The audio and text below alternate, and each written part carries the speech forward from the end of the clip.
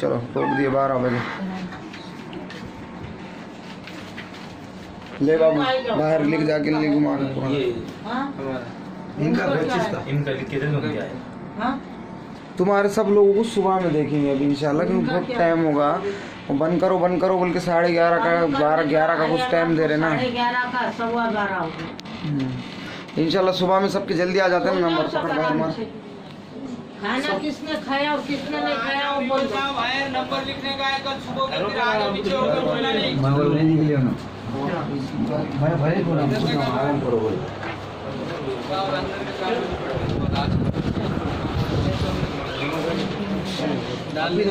इधर का ले लंगर में वाला नहीं। पूरा नहीं इधर का इधर का रोड का वो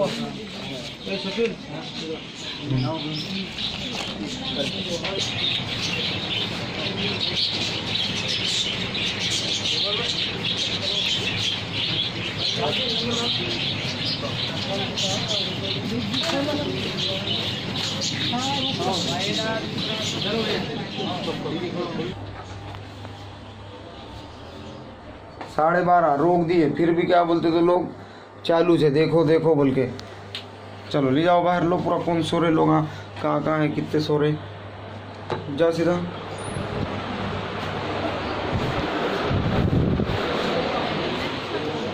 जंग करते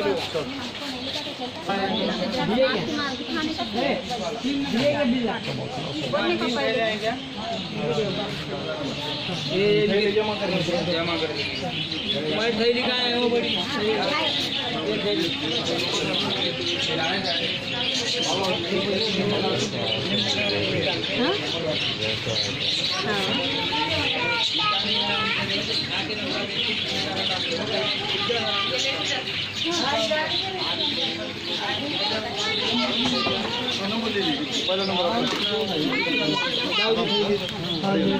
सुबह में थैली चालू करते हुए अंदर अंदर लेके आना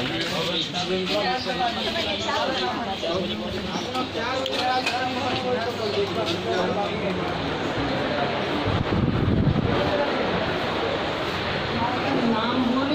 रिकॉर्डिंग में चालू जी कुछ भी किसी ने उठ के जाओ बोला करो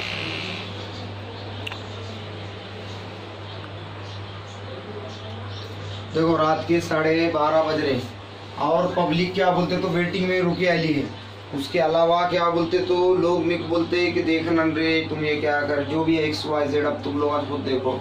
अभी आने के बाद तो और आलम पब्लिक का सुबह से मैंने उतने देखा, कितने पेशेंट वो कट निकाल दिए।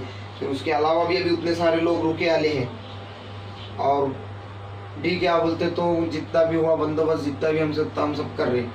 मगर खैर, चिढ़ने वाले, जलने वाले लोग ऐसे भी जल जल रहे कि लोगों को मस्जिद में नमाज़ भी नहीं पढ़ने दे रहे। इनके बाप का, क्या मेरे बोलने को भी अल्फाज नहीं मिल रहे कि गलत बात है, क्योंकि बहुत सारी शिकायतें आ गई मेरे पास में कि लोग ऐसा क्या बोलते तो मस्जिद ऑलरेडी मस्जिद में लोग क्यों जाते हैं? इबादत के वास्ते नमाज़ पढ़ने को कोई आया, मौलवी, मुफ्ती, जो भी आते हैं सब इलाजों को वो नमाजों को जाते तो नमाज़ को जाने वाला तो बाथरूम को जाके नमाज़ पढ़ने जाएगा ना?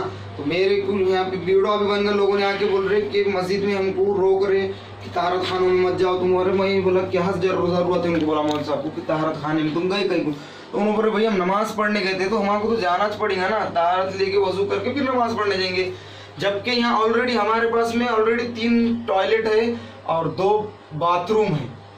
दो जिसमें से वेस्टर्न टॉयलेट है और चार चार टॉयलेट है, दो वेस्टर्न टॉयलेट है, दो देसी टॉयलेट है, उसके बाद में दो बाथरूम है पानी नहाने के लिए।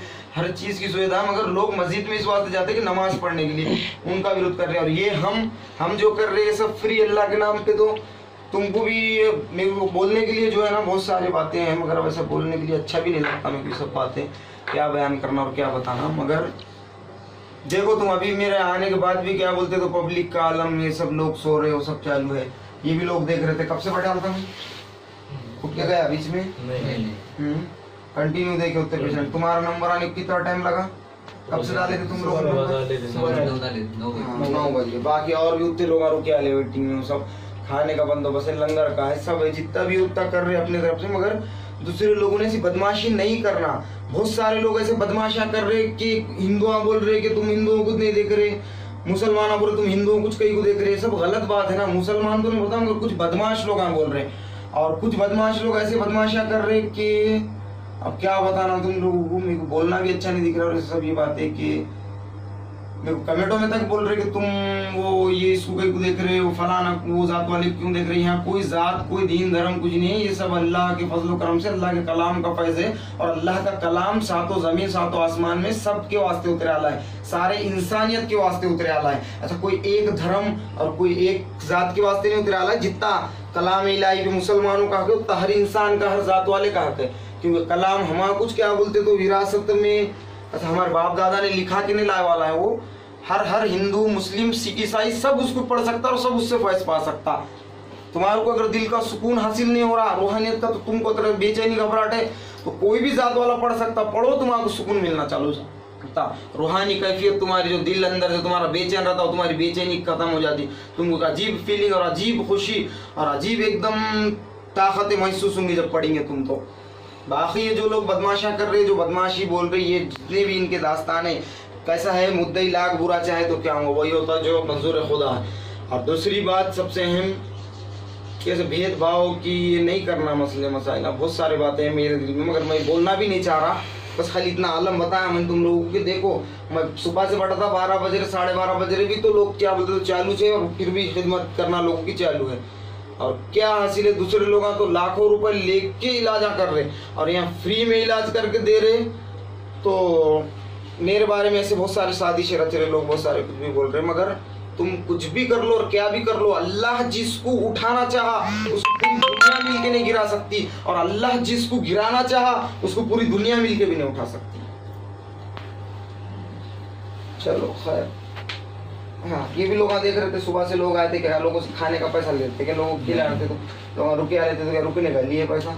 तुम्हारे से लिए क्या? एक दो लाख रुपए अंदर आए तो और से बोलो। नहीं नहीं। भी नहीं।